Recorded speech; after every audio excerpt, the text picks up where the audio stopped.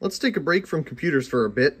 We took a look at the Variac here in, uh, I believe, the last clip or two ago or whatever. Um, I still need to find a switch for it. It's just been a couple days since I got the thing. And, uh, well, as you saw in there, we, we did get it working with the bulb here. But what about some other stuff, like uh, this Simon Says uh, toy here?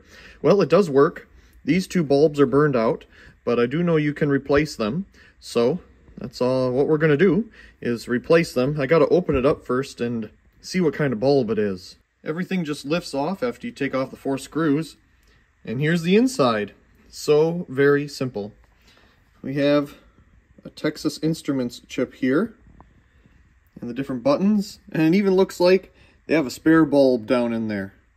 I was not expecting that. That's pretty cool. Also looking a little closer, looks like some of these just aren't screwed in all the way. See?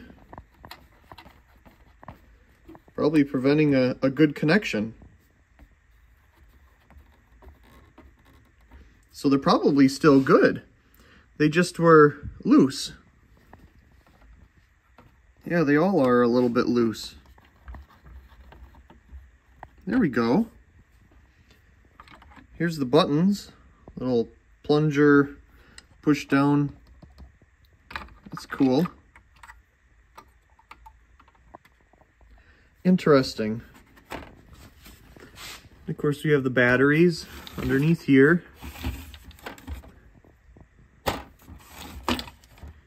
There's our spare light bulb.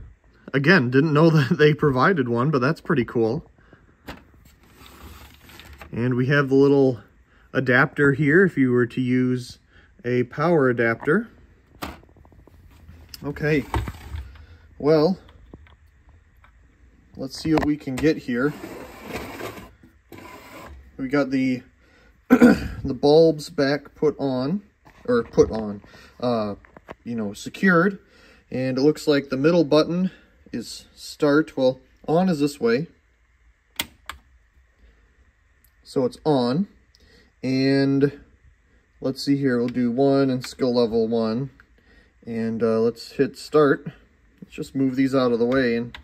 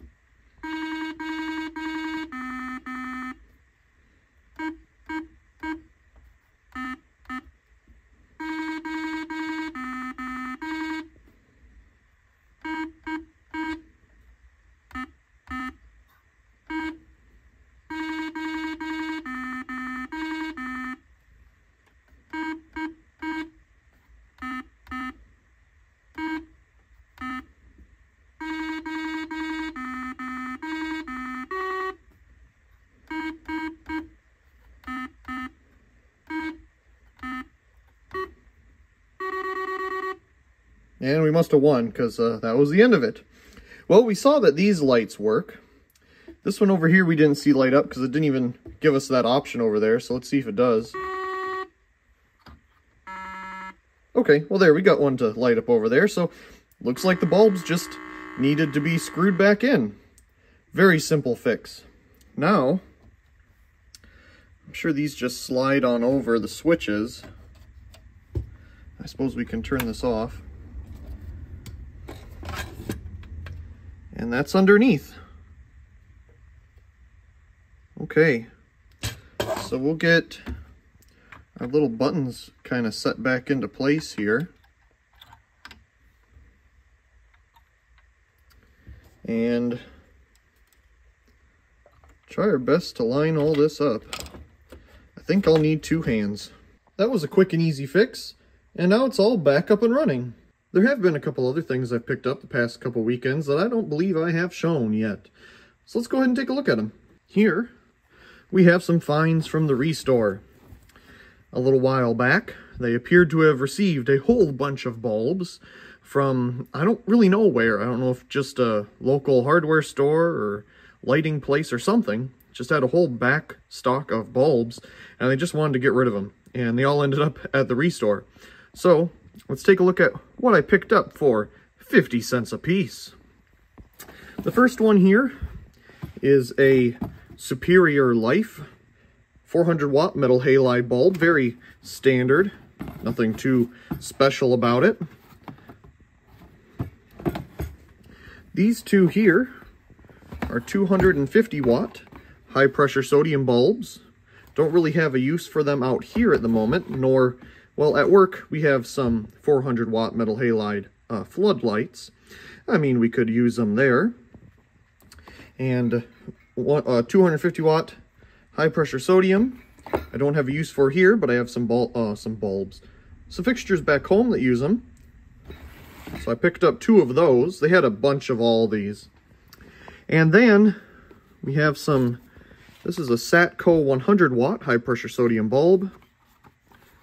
Again, 50 cents, who can complain? And the rest of these are 35 watt high pressure sodium bulbs. Now there's two different kinds here. They're all Satco, but what I mean by two different kinds is two different styles of packaging. See, this one's a little, I want to say older and a little shorter and then this one is newer. Now, the 100 watt one here is the taller package as well. So this 35 watt one doesn't really say anything about where it's made. This one's made in China. I want to say this one's made by a different manufacturer. And of course, we'll take a look at that when we get around to making videos of these bulbs. So I don't remember how many of these there are, but there's a bunch.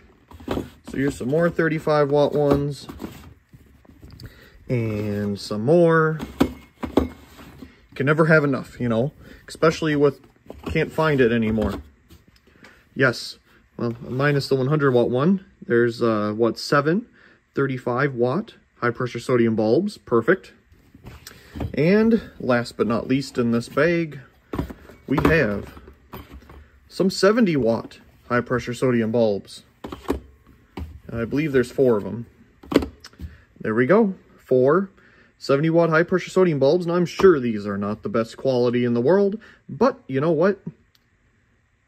50 cents. Couldn't pass that up. So that's what I picked up at the Restore a couple weekends ago. Let's see what else was found. The Goodwill turned up some amazing bulbs here. GE preheat CFLs. Very cool. Um, these were a little expensive for my taste, but uh, I picked them up anyway. They were $4 a piece. I suppose that's not really that bad of a deal, but um, these are getting even harder to find nowadays. And how many did we find here? Well, there's three and four. Oh, come on five, five preheat fluorescent bulbs. okay, whatever. Um, yeah, these are pretty cool, especially the packaging is in amazing condition. They must have been on a shelf somewhere for quite a long time.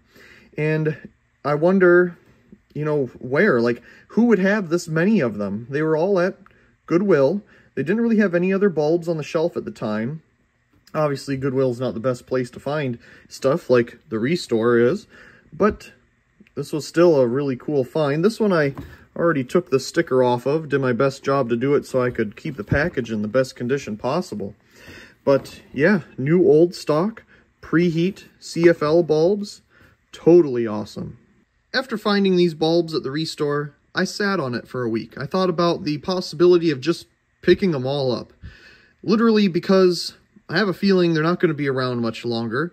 Uh, not necessarily at the Restore, but in general. You know, sure, they're still being sold at Home Depot and Lowe's and things like that, but just like everything else is being banned, I'm sure these will be here soon enough. So, I decided to go back and pick up whatever is left of the high-pressure sodium bulbs. Here are the four remaining uh, 250 watt high-pressure sodium bulbs. In fact, there's probably more. Um, we'll get to that when we get there. But there's four of them. Let me move them out of the way here.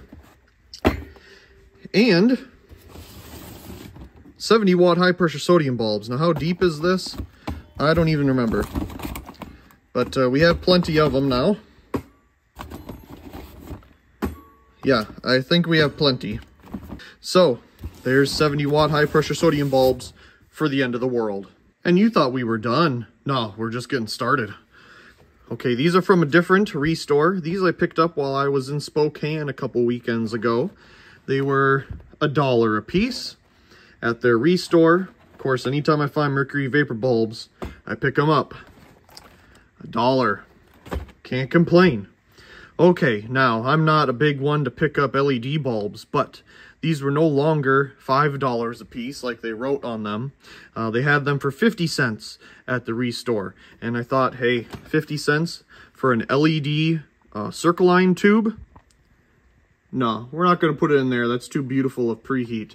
But you never know in the future. Might be useful for something. I mean, again, I know my reasoning for a lot of this is 50 cents. Okay, what do we have here? There's four of them all together. Oh, here's more. What was that, five, six? Ah, yes, the metal halide bulbs. They found their way home too. Uh, I picked up the rest of them, uh, letting them sit for a week. Of course, some people picked them up. The ones that were gone the most were the metal halide ones. None of the other bulbs were touched. Like, from when I first originally saw it versus when I actually picked these up a week later, and then the week after that, picking up the rest of them. Plus, to be real honest, they need the space. So they were actually quite happy that I uh, uh, got them all. Funny enough. So, one, four, I was going to say 1,000 watt, no, 400 watt metal halide. And here's four more 70 watt high pressure sodium. And these here are Philips 150 watt high pressure sodium. I don't really have a use for these at the moment, but hey, again, you know, for the day when it comes that you can't get these anymore, I will make sure that we will have plenty in the community to share. Because, again, if you don't get them now, you might not be able to get them in the future. And what about future lighting collectors that may want something like this? You know, if I pick it up now versus somebody picking it up, not knowing what it is, screwing it into their lamp at home, it doesn't work, then they throw it away. That's a waste. If I could pick these up now, in all these quantities, at least they'll be preserved for future generations of lighting collectors. We're not done yet. One last item, a box of 30 F20 T12 cool white fluorescent tubes. Again, 50 cents a piece. So what the whole box was like, I don't know, 15 $16 or something. But that's not bad. Let's see what we got. Service, long life guaranteed. Looks like it was made by Philips based on the end caps here. Made in USA and Light. So I wonder if it's some type of Econo light, you know, if it does take 20 watts like all the others, or if it takes less than that. We'll have to find out. Somebody already cut open the end of this box and put it on the shelf at the restore. Uh, looks like they took out the cardboard piece here that was, you know, separating the bulbs. Again, 50 cents a piece. They're not assuming somebody's going to come and buy the whole box like myself. But when you find a deal like this, you pick them up, especially when in this state there is a tax on every single one of these bulbs. And at the restore, tax has already been paid for because somebody bought it at one point, wherever, and then donated this. So, 50 cents a piece. Good deal. And, I mean, not to mention, there's plenty of fixtures that can use these bulbs. As usual, there will definitely be videos of these bulbs coming in the future, but for now, we need to get them stored away up here. There we go. For the most part, they're all stored away. Okay, so we're going to try installing the Intermatic compressor defender thingy back here for the heat pump. And I need to figure out what circuit this is. It says 60 amps. And I mean, it looks like it has fuses here. You could probably just take the thing out. Pull on fuses, sure. Let's do it. I mean, it's off, right? On. That means off. Just set that there, I suppose. Um, Now this cover has to come off somehow. Let's just set this over here. What are these fuses rated for? 40 amp GE. Okay. Now watching a lot of videos on this thing online, they're all just a box. None of them have these fuses. I'm sure this is just an older, you know, service. Sure, they painted over this. It looks terrible. That's just how they seem to paint stuff is they're like, let's spray everything. And uh, now it looks terrible. Should just left it the way it was. Uh, the other evening I was out here, I was trying to get this thing off. I think there's some clips on the bottom that you have to undo or something to that nature. Uh, I'll figure it out. There's a screw here if I would just pay attention. Since there are fuses out there and they're 40 amp, I would assume the only 40 amp breaker in here is probably the one we're looking for. Got the cover off. And I also took the cover off this thing. Boy, it's like a whole computer in there. Um, I put the fuses back in just to see if the little display would light up because it's usually lit up when there's power and there is none. So that's good. And uh, here's our box. So we have uh, a wire here that someone taped up because they must have pinched it or something weird. And well, probably the simplest box you've seen uh, for one of these things. um, looks like the blue one is our neutral and maybe it is labeled. Uh, obviously, this one is a line. It's coming from that way. And uh, this goes to our unit itself. So we can just kind of tell by process of elimination which goes where. So we need to install it on the side here. Now this is a plastic box, so hopefully we have some good luck knocking this out. Just tested to be extra sure we have no power and we're good. So now we will knock out the side there. And the knockout is out. Is it perfect? No, but at least the whole outer second one didn't come out too. There it is, installed on the side. The hardest part really was getting the, the washer or the nut on there. I believe is supposed to be 10 gauge, but uh, they used six. I was like, boy, that's big. But, uh, you know, back then, wasn't as expensive as it was today. Now, we have these really long wires here and we don't want that. We want them to be as short as possible without any kinks or tight connections, you know, or tight angles or anything like that. So um, these will need to be trimmed and connected into here. Now, I have seen videos online where you can put both of these into the same terminal and some people say don't do that and then some people say you can and then the manufacturer specifically says you can so I don't know. We'll see if there's enough room in there because we're already putting in a size 6 gauge wire in there. Yeah, we'll see. Now, is it best to have a solid copper core and a stranded, whatever it is, aluminum wire in the same connector? No, but they're in there. Okay, we got the wires cut to size or length, so they're not too long or too short. And uh, I just took the whole little screws out uh, just so I can get a better view of what's going on in there. And we'll see if we can fit both of them in there. They're in there, and I tried to leave them twisted, but uh, they just won't, you know, cooperate, so whatever. They both fit, and uh, hopefully it'll, one of those dropped. But um, hopefully that'll be good enough.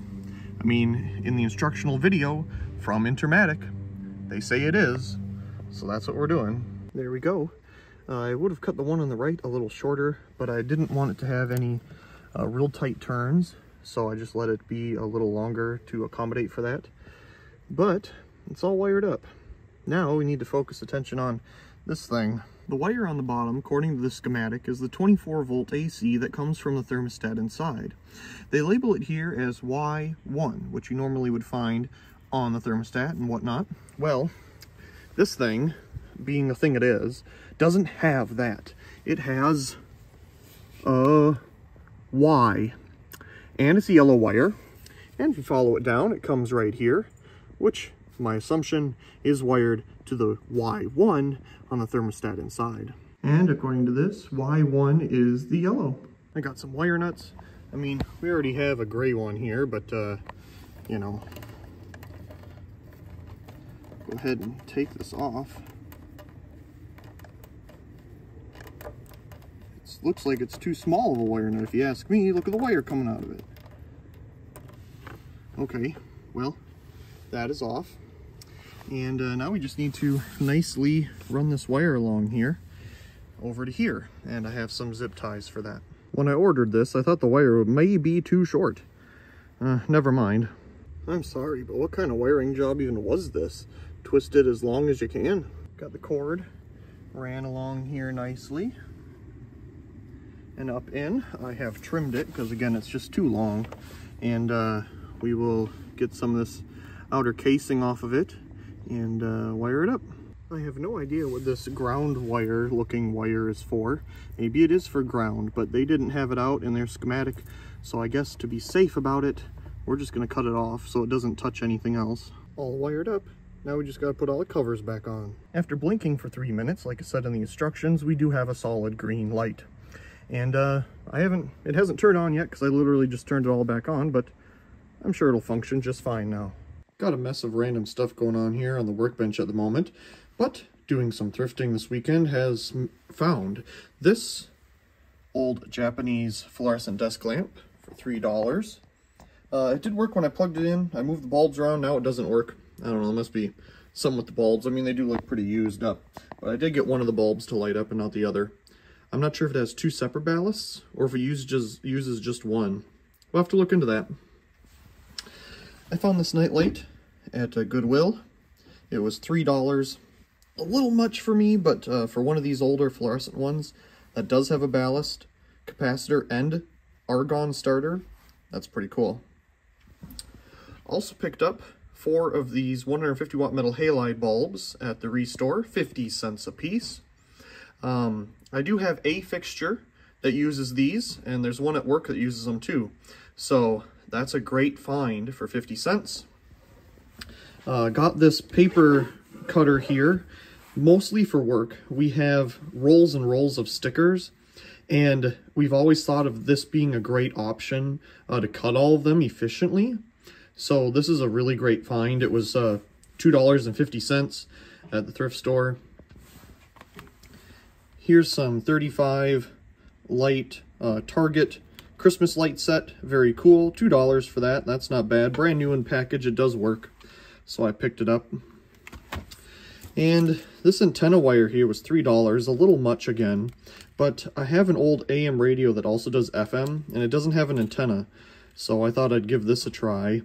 Uh, this does say 375 ohm on it, and I think FM is 300 ohm. I'm not sure. I don't know much about any of that. But I thought I'd pick it up and at least give it a try before buying a $10 or more one on Amazon. So we'll see how that works. And just other you know, odds and ends while out and about yesterday. I've already had, you know, the, the tensor lamp here, and this is going to be in another video, putting it all together, cleaning it up like we've been doing lately. So yeah, just some little finds. So they both work, but you got to hold the bulbs in just the right spot. If I let go, it turns off. So obviously there's something with the socket down here. That's where I hear the electricity, you know, the zapping and whatnot. So we'll have to, well, I cleaned it up a little bit already, much better, but uh, still has more cleaning to do. At least we know both the bulbs are good. Picked up this little lamp from IKEA. Whenever they come out with something new and interesting to display a bulb, I always like to pick one of them up as long as it's a reasonable price, and usually their stuff is, to, well, display the bulbs in the collection. So this particular one here is like a uh, silver bowl type thing, and it's in a very small box compared to what it is when it's put together. Also, when I went to Ikea to look for it, I was also amazed at how small it was. The pictures online make it look bigger for some reason. But let's see what it is.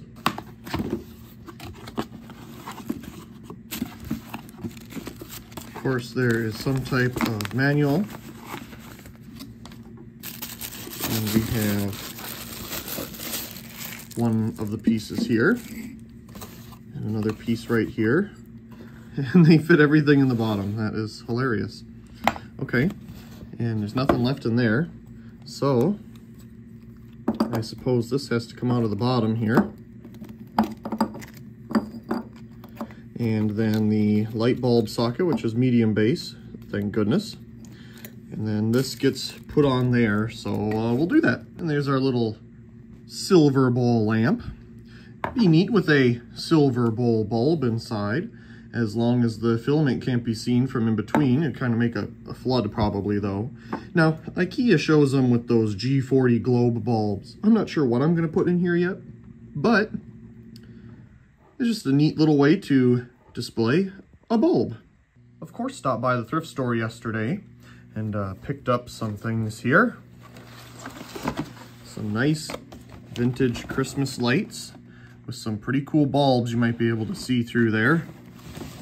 Now, I didn't take these out of their package. I just kind of could tell, you know, what was in there. There's some nice GEs you can see right there. Some more here at the end. We'll get them out of the box here so we can take a better look. And then this box here is the same brand, but this one's 15. And you can see someone put the bulbs back in their packages for the end of each year. So we'll take out the string here. It does look like 15 bulbs. It is quite short. And then we have the bulbs inside. So this looks like an original package. Excuse me. Uh, being that it's the same uh, brand. So you have some green ones there. I don't think they're... Oh, wait. They very well might be flashers. Oh, they are. The two green ones are flashers. You can kind of see the bimetallic strip in there. It's very hard to see, but it's in there. then we have a nice pack of GE here. Outdoor Bright. I wonder if that yellow one is still original or that green one on the end. That's a nice deep green. There's a, a clear and a red. That's definitely not original.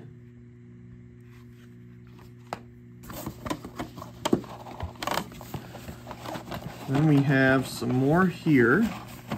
If I can get them out. Hold on. Here we go. And we have a little blinker. That's pretty neat. Some nice orange ones. What's that? Uh, looks like a, a GE again in the middle there, that clear one. And I do believe when I took these out at the store, these are all blues. It's that beautiful old blue too. At least uh, they look like that. So that's pretty cool.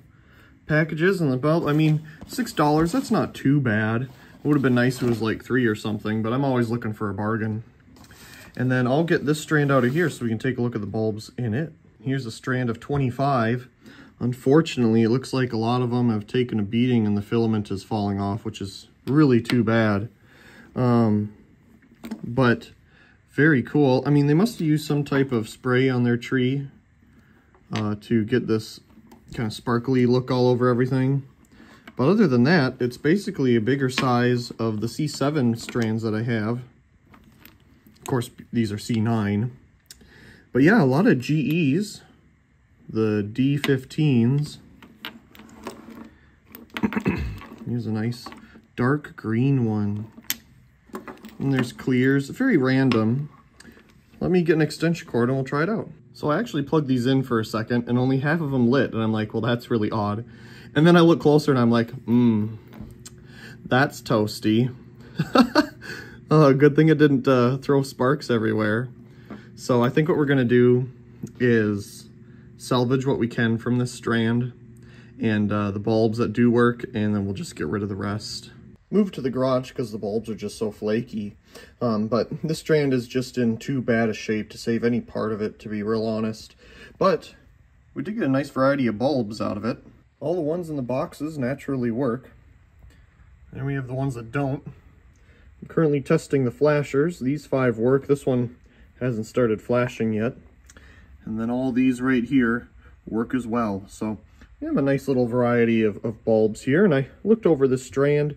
It's in fine shape. It's just a little dirty from, of course, being used outside or something like that. And uh, yeah, C9 Christmas lights. Gotta love the classics.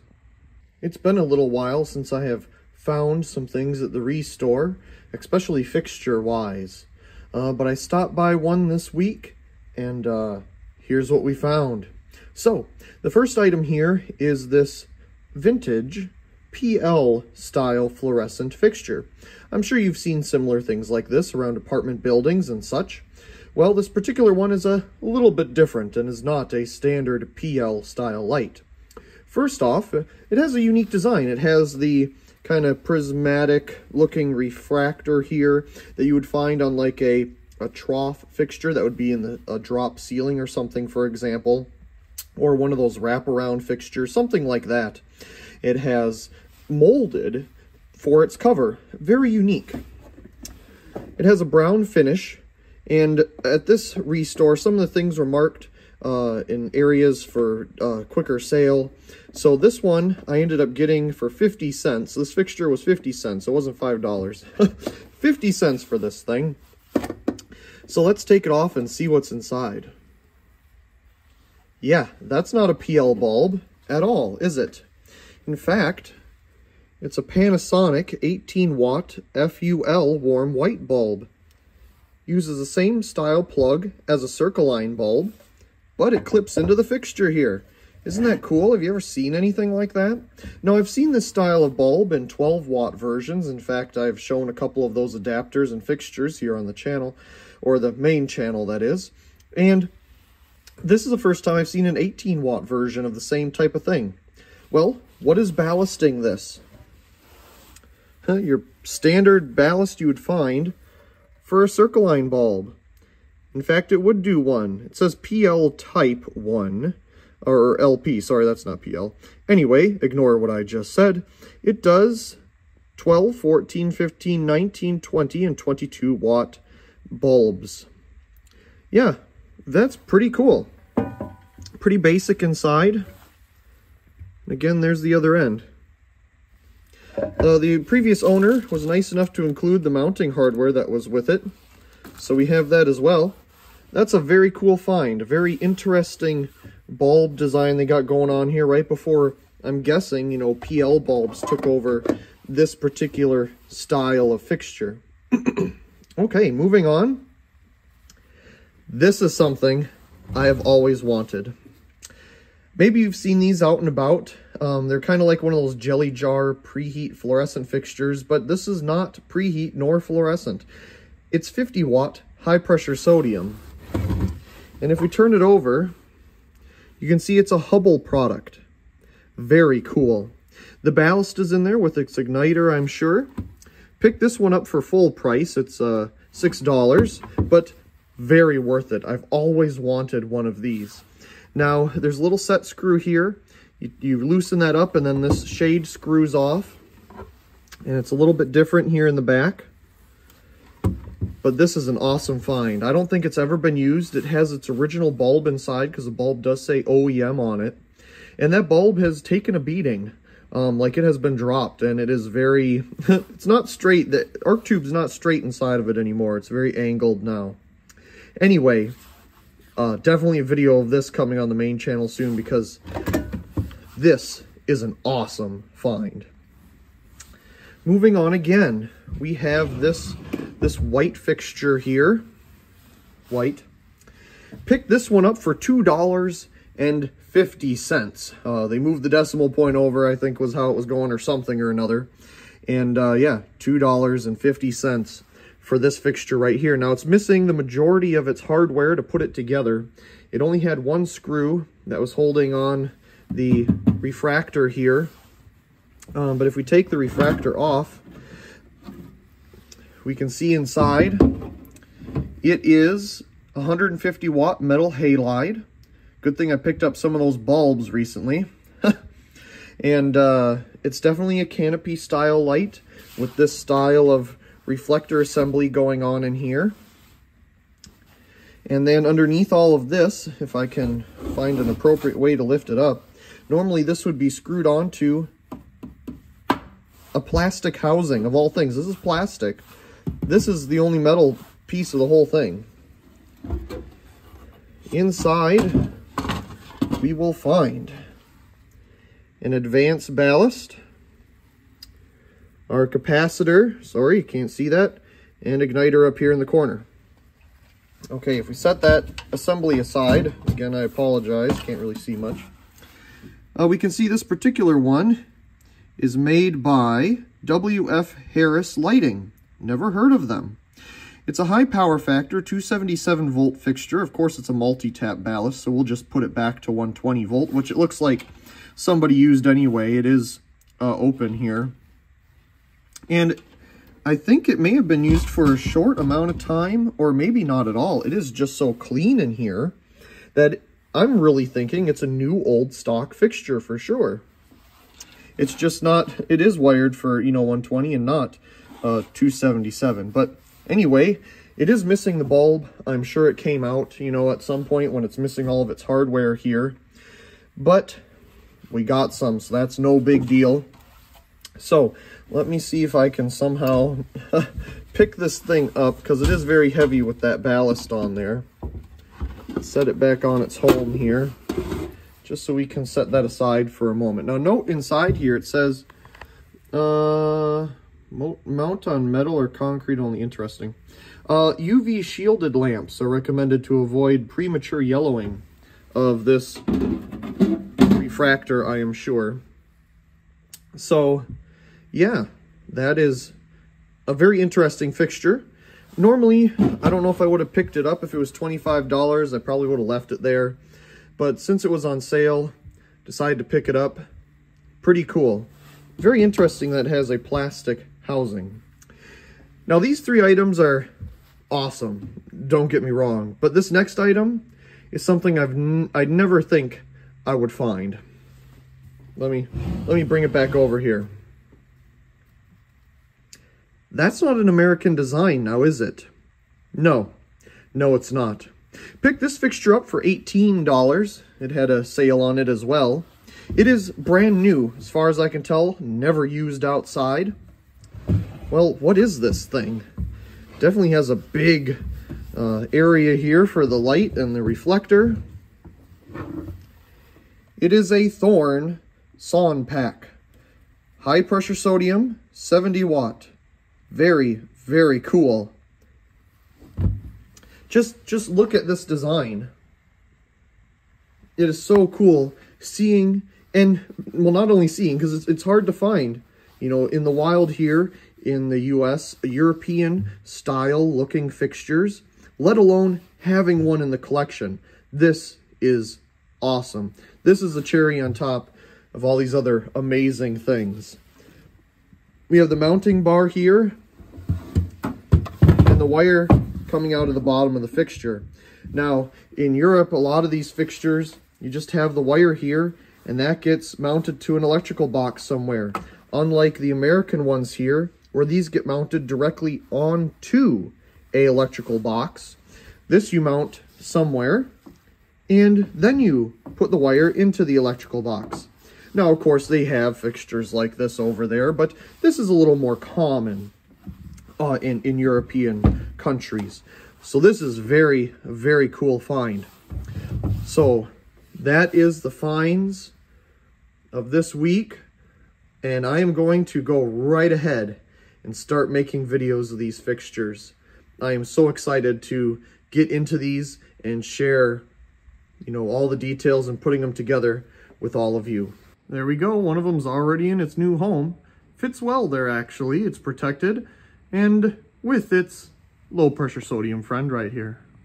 So I'm up here on the roof because um, the hook that I was using to hold the sunshade thing up this year was very bent when I took it down, obviously from a lot of stress.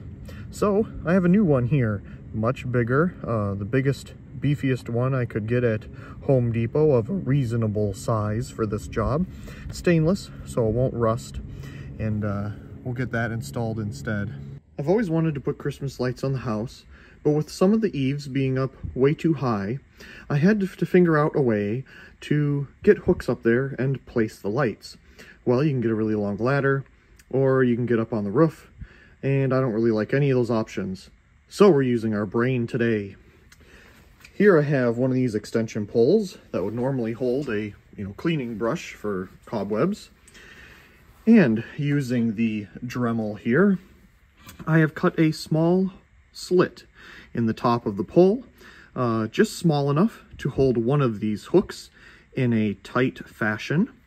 I have drawn lines on it to see what side is the open side with the longer line there and the back of it here with a line as well. And uh, I might extend that line just to see it better when it's up high, but I just went outside to test it and it works well. So just thought I'd share this unique idea.